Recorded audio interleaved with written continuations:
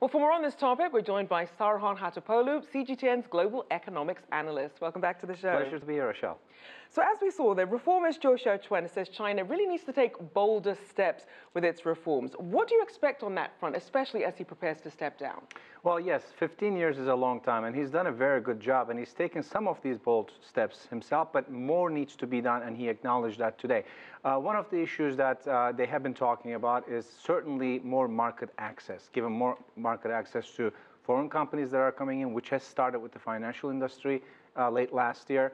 Also, capital account convertibility. This is very important because China is trying to move its currency to, be, to become a global currency, and therefore it needs liquidity. So these are the main bold reforms that um, he's been talking about, but there's also ways of looking at monetary policy. For example, Premier Li on Monday uh, did not use M2, broad money supply, in its interpretation of inflation. So they're looking at output, they're looking at different um, data because they know that uh, just M2 now is not enough to see whether the monetary policy is expansionary or not. Now, something else that they're looking at is this stance on Bitcoin and other cryptocurrencies. Now, they see the value in the blockchain technology, but not the market speculation that it, that it tends to drive. How do you see China incorporating this going forward? Very slowly, at a very measured pace, as it has been doing with other reforms that it has introduced. And I liked I liked when I heard that blockchain technology for China is here to stay. They seem to understand what's going on. There are hawks and there are doves in terms of countries regarding Bitcoin. China is on the hawkish side, together with Russia, for example, South Korea. But there are the doves, like the UK, uh, like Canada. They're looking at, uh, they, they're saying more needs to be studied here. But look, if you're a government person in charge of monetary policy, I would be worried too, not only because I have to protect investors from my country, because some of these are fraud, not all of them, some of them, but also um, I, I, run the currency. There's, there's a challenger here. I need to understand this. So that's what China is doing. Certainly a, a new landscape everyone's trying to get used to.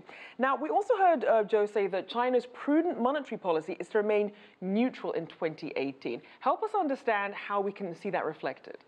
So when they say neutral, it's prudent monetary policy. Uh, that to me means that we're no longer going to engage in expansionary monetary policy to um, flush the market with credit to support economic growth. What we're going to be doing now is what China is saying. We're going to look at financial excesses. We're going to try to get rid of this, and the economic growth will come from elsewhere. And I think that's a good sign, but it hasn't started today or last week. If you look at the 2017 numbers, interbank assets and liabilities contracted for the first time in seven years. So uh, this, this process is underway. And are there any factors in the economy that you think perhaps might make them change course? If there's a big uh, external shock, absolutely. If uh, the transition from, the transition has been going well, but there could be roadblocks in there.